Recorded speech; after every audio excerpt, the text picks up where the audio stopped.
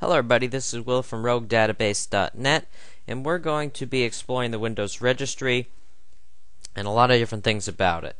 The Windows Registry is basically a database that stores configuration settings and options on Windows operating systems. Um, will also contain many uh, basically database configurations and whatever for um, different types of software and just about anything. You, your computer can't work without the registry. The registry is stored in the user folder for the user's registry and in the system folder for the whole system registry.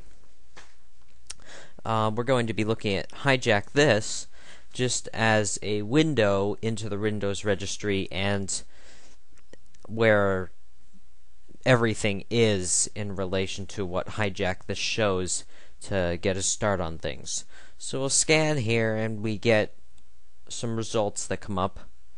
But those aren't quite the results we're looking for because these don't list all of the HijackThis options. So I'm going to go over those with you right now. The first one, the first segment is RO, R1, R2, R3 and that's going to be the first thing you see in a log if they are present. And that specifies the Internet Explorer start and search pages URLs. So if Google is your start page, Google is going to be listed as a, I believe, an R1. Um, we're going to look in depthly at all of these later and get a deeper sense of where the actual keys behind them are, the registry keys that HijackThis is looking at. Uh, the next HijackThis, uh, the next thing in a HijackThis log is auto loading programs. These are going to auto load under certain uh, specific um, loading pieces of the operating system. So stuff like under the shell value, uh, which is usually explorer.exe, stuff that loads under the user init value, uh, stuff that loads under the operating system components that are supposed to be only the operating system loading. So those are definitely good to get rid of. Um, the next thing, and these are kind of kind of rare, is N1, N2, N3, and N4 entries. These are Netscape, Mozilla, Start, uh, and then search pages URLs used by those browsers. So those are going to be a little bit rare. You're not going to see them as much, and they're rarely a problem. Um, O1s are the host file. These will show you potential host file redirects or sites that shouldn't be in the host file. Um, O2s is going to scan for browser helper objects. So if you have something that's causing redirects in Internet Explorer and the cause of it is a, a little browser helper object, you will see it show up here. Uh, O3s are toolbars for Internet Explorer. So ask.com toolbar would show up here. O4s are much more common. You'll see these in every single log.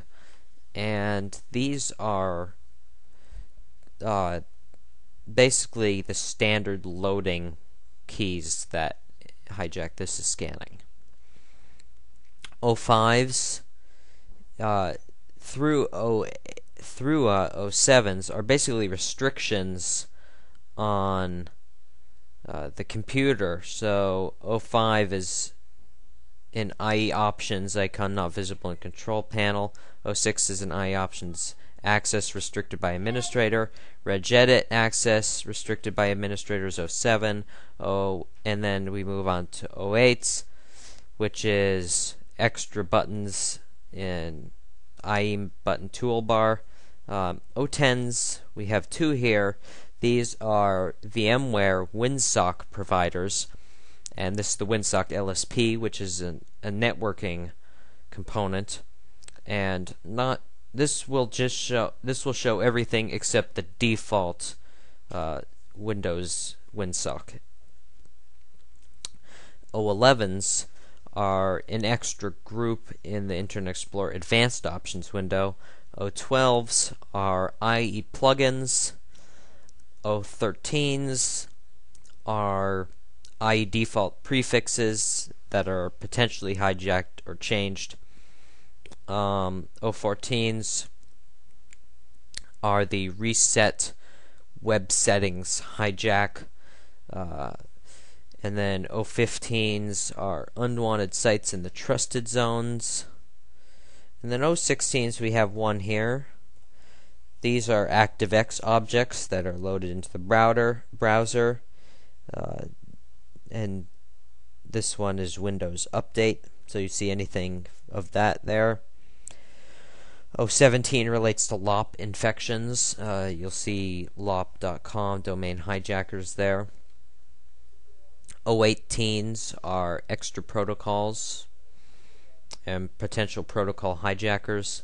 019s are going to be user style sheet hijacks, so that's of things that are messed up. Those are pretty rare. O20s are relating to AppInit DLLs. That's a type of key for loading um, loading anything early. So any malware could put itself in with the Winlogon notify key or the AppInit DLL um, value and be loaded as the operating system before the operating system is even you know booting to the desktop. So that's a way for malware to get loaded really early. Um, and then we have, let's see, we have, let me try to remember this, we have uh, O21s, which is SSODLs, um, and that shell service object delay load. And those are going to be a different type of service that can load up on the system startup. Then you have O22s, which is task scheduler startup um, items. Then O23s are basically services for the computer. Those are the services that are used that are not the operating system services. So won't display Microsoft stuff here. And then O24 is Windows Active Desktop Components, which is kind of an XP thing. And that will show you any uh, active desktop, any parts of the active desktop that are loaded, which could potentially be alerts or whatever that malware is displaying on your desktop. So, in the next video, we're going to look a little deeper into these individually and look at the keys behind them and how the keys work and how the keys load the files. So, I'll see you in part two of this series.